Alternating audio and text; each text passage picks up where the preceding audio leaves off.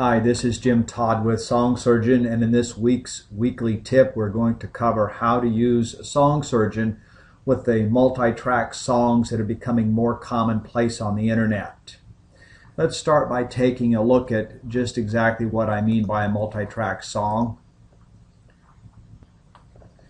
And I have one of them here in my music library. As you can see, uh, this is the song La Bamba, and we have multi-tracks, one, two, three, four, five, six of them here, and many of the services that provide these that I've seen oftentimes provide you with six, eight, ten, even as many as 12 tracks. But you have a guitar track here, acoustic, a bass track, drums, electric guitar, here you have lead guitar, and here you have vocal. So let's say you want to create your own unique mix and you want to provide the lead guitar here and you do not want to use the vocal but you want to use these other four acoustic bass drums and electric guitar. So how can you do that? How can you use these in song surgeon when song surgeon only opens a single song at one time?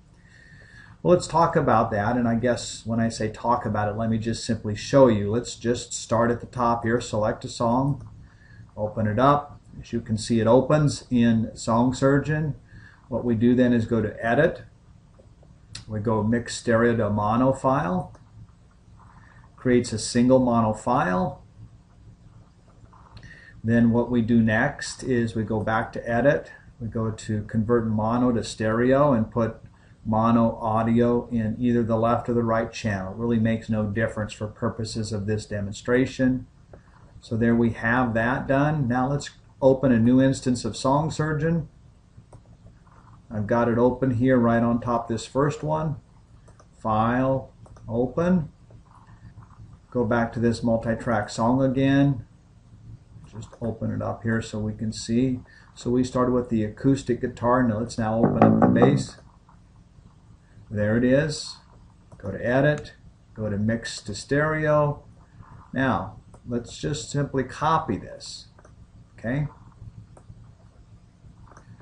So I've highlighted it. I'm going to do a control C, which is a shortcut way. And I'm going to minimize this for a second.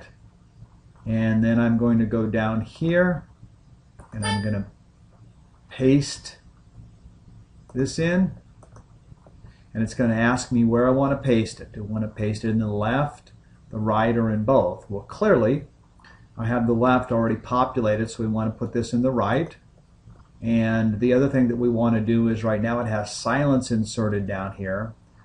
So it will, to keep what it thinks is the synchronization here, it will insert this new data at the end of this song. And we don't want it to do that. We want it to insert it at the beginning. So we need to uncheck this box and we're going to have it inserted at the beginning. Let's go ahead and click OK. And there we go.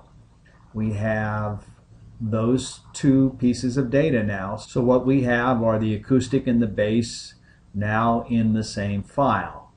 So now let's add drums. Let's go ahead and open drums. Here are the drums. Now let's go ahead and mix them down as we did previously. Now let's go ahead and select it. Control C, again a shortcut. Let's go back to the song where we already have the acoustic and the bass. What are we going to do here first? We are going to mix these down.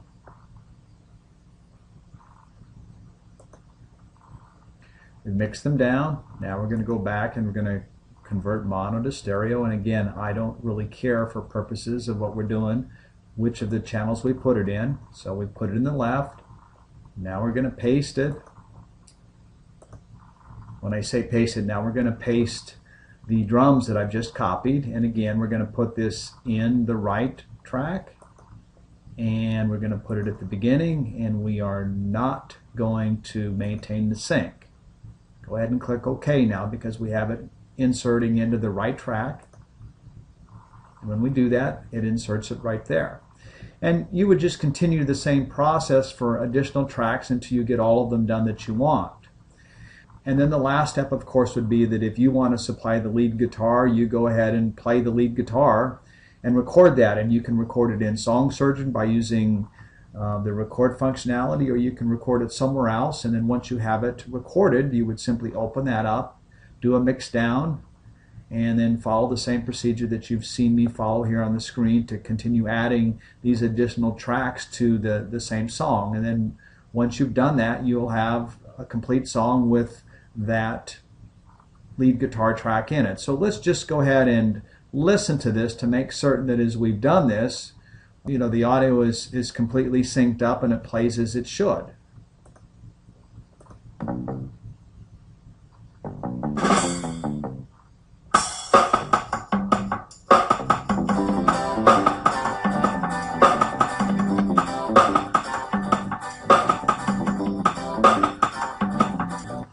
And certainly sounds correct. So that will conclude this week's video tutorial and thanks for watching.